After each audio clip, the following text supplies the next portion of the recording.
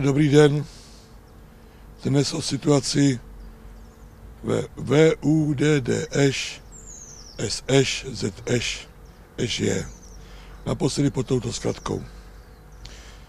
To, co se dělo do doby návštěvy paní ministrně na zastupitelstvu města Chrastava na konci června, to vše najdete na stránkách města. Já se budu zabývat situací poté. Takže bylo rozhodnuto, že od 1. září zde zůstane jenom DDŠ, ZŠ, Ž.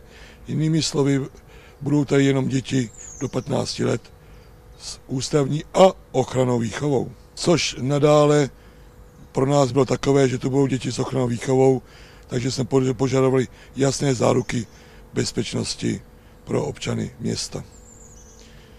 Zde přímo v tomto zařízení od 1. července byla situace taková, že zde zůstaly dvě, někdy dokonce jenom jedno dítě. Takže proto se zde situace uklidnila, protože zde prakticky nikdo není. Dokonce, pokud vím, taky prozatímní paní ředitelka, paní Cpinová, tu za celý červenec byla včera po konkurzním řízení, to znamená 21. července a předtím tu byla jenom 11. července. Včera tedy proběhlo konkurzní řízení v Praze. Já musím zmínit jednu velmi důležitou věc. Možná důležitější než to, jak samotný konkurs dopad. A sice, že se včera ministerstvo školství zavázalo, že zde od 1. září budou děti, tedy do 15 let, to už bylo známé, ale pouze s ústavní výchovou. Jinými slovy, nebudou tu děti s ochranou výchovou, ty, kvůli kterým jsou ty mříže, kolem kterých jsou zabezpečovací systémy, prostě ti, které jsou jednoznačně pro své okolí nebo můžou být nebezpeční.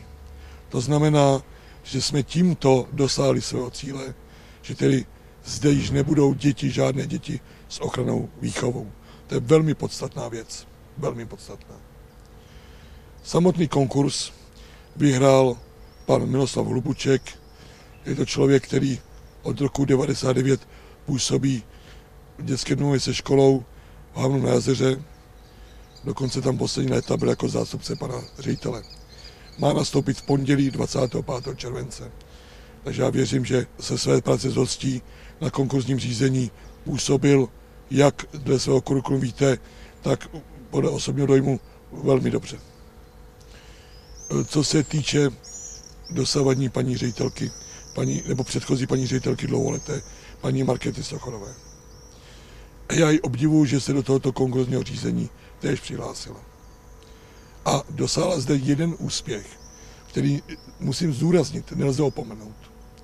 Komise jednoznačně vyhodnotila jako osobu vhodnou pro výkon funkce ředitele. Jinými slovy, byla takto rehabilitována, protože tím se komise postavila za ní. Ještě jednou opakuji, vyhodnotila jako osobu vhodnou pro výkon funkce ředitele. Potom při samotném určování pořadí obsadila tedy až druhou pozici za vítězným uchazečem panem Miloslavem Lubučkem, ale na to na tom, že ji komise vyhodnotila jako osobu vhodnou pro výkon funkce ředitele, nic nemění. Takže já doufám, že aspoň tato satisfakce pro paní někdejší dlouholetou paní ředitelku bude aspoň symbolicky mít nějaký význam. Věc další, která stojí za zmínku, je kapacita budoucího zařízení. Já to vezmu historicky. Když kdysi byly řecké a větnamské děti, tak jich tu bylo přes 150, možná k dvěma stovkám. Když pak zde nastoupil ústav, tak zde původně byla kapacita, jestli se nepletu historicky, přes 90 dětí, pak přes 70 dětí.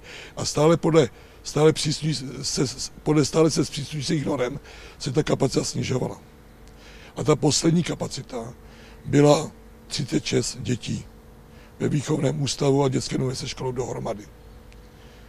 Už tak byl luxus, že tedy děti byly na pokoji maximálně po dvou, často měli pokoje sami pro sebe.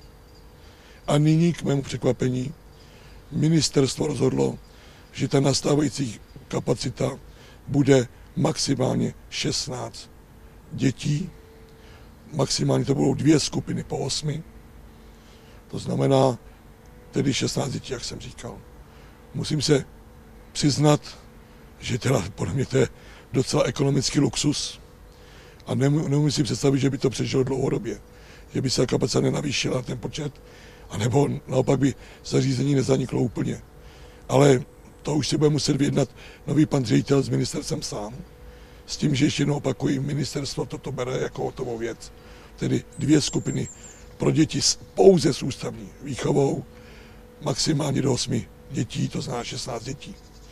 Navíc, jak jsem se dozvěděl, tak k prvnímu září by těch dětí reálně a mělo být 7 či spíše 6. Pak by jsem počet do těch 16 teprve doplňoval. Já ještě jednou touto cestou děkuji celému bývalému kolektivu, už rozpadající semu, nebo někteří odešli, někteří budou muset odejít kvůli snižující, snižujícímu se počtu dětí za odvedenou práci za ta minulá léta. Zejména děkuji bývalé paní ředitelce Marketě Sochorové. Zda zde zůstane nebo nezůstane, to já nevím. To bude záležet na novém panu řediteli. A novému panu řediteli přeji, aby tu práci zde zvládnul a věřím, že spolupráce s městem bude na dobré úrovni. Děkuji za pozornost.